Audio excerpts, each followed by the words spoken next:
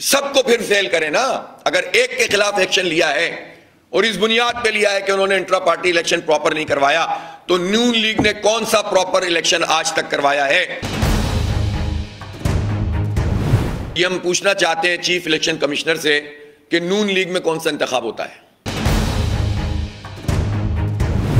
और peoples party में कौन सा इंतखाब होता है? ये नून लीग क्यों आपकी लाडली चहीती बनी हुई है?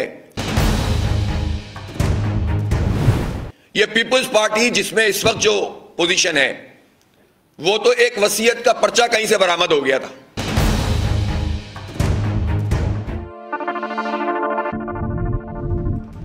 गुजशत दिनों इलेक्शन कमीशन के फैसले पर के पीटीआई के को बल्ले का निशान देना चाहिए कि नहीं देना चाहिए? और इंट्रा पार्टी इलेक्शन उस पर जो फैसला इलेक्शन कमीशन का था, वो सुप्रीम कोर्ट में जेर बहस आया।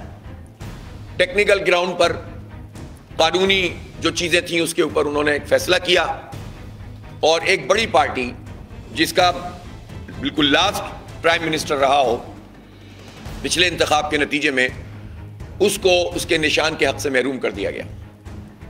इलेक्शन कमीशन से हमारा सवाल यह है कि आपने जिस इंट्रा पार्टी इलेक्शन की बुनियाद पर यह फैसला किया था।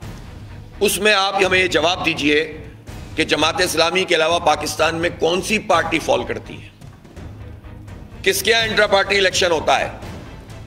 और मैं ये पूछना चाहता हूँ कि खास तौर पर वो पार्टियाँ जो लाइन में लगी हुई खड़ी हैं, एक तरफ़ वो अमेरिका की खुशनुदी के लिए फलस्तीनियों की हिमायत नहीं करते, हमास की हिमायत नहीं करते, अमेरिका की और इसराइल की मजम्मत नहीं करते, नून लीग और पीपल्स पार्टी और दूसरी तरफ़ यहाँ पर वो लाइन लगाकर खड़े हुए हैं कि बस, बादशाह सलामत हमें बना दिया जाए, उनके सारे जुर्म भी माफ़ हो गए, उनकी करप्शन भी माफ़ हो गई, उनके सिस्टम भी माफ़ हो गए, जिसके बड़े बातें सुनी थी कि सिस्टम पर हाथ डलेगा सिंध में, और पंजाब की करप्शन भी माफ़ हो गई, और अब वो लाइन में खड़े हुए हैं कि उनको बादशाह सलामत बना दिया जाए। तो ये हम पूछना चाहते हैं चीफ इलेक्शन कमिश्नर से कि नून लीग में कौन सा इंतखाब होता है? और पीपल्स पार्टी में कौन सा इंतखाब होता है? नून लीग के इंतखाब में एक खानदान की मीराज से पूरी पार्टी। और वो कागज़ बनाकर आपको जमा करा दें। और आप कहें कि साहब, बहुत ज़बरदस्त जमहूरियत है, चूँकि जमहूरियत के लिए तो बहुत ज़रूरी है कि पार्टियों में जमहूरियत हो। यह कैसी जमहूरियत है? जिसमें बड़े मियाँ साहब, छोटे मियाँ साहब, समधी साहब, बेटी साहिबा, बेटा, दूसरा बेटा, तीसरा बेटा, चौथा बेटा, पांचवा बेटा, बहू और नन भावच, इनके अलावा कोई होता ही नहीं है। यही लोग अहदेदार बन जाते हैं, यही सदर बनते हैं, यही चेयरमैन बन जाते हैं कभी। और इसको आप कहते हैं कि ये इंट्रा पार्टी इलेक्शन हुआ है। इलेक्शन कमीशन का काम है कि जमहूरियत की रूह के मुताबिक या तो वो सबको फिर फेल करें ना। अगर एक के खिलाफ एक्शन लिया है और इस बुनियाद पे लिया है कि उन्होंने इंट्रा पार्टी इलेक्शन प्रॉपर नहीं करवाया तो नून लीग ने कौन सा प्रॉपर इलेक्शन आज तक करवाया है? ये नून लीग क्यों आपकी लाडली चहीती बनी हुई है? ये पीपल्स पार्टी जिसमें इस वक्त जो पोजीशन है वो तो एक वसीयत का पर्चा कहीं से बरामद हो गया था। टाइम्स ऑफ़ कराची से जुड़े रहने के लिए हमारा चैनल सब्सक्राइब करें।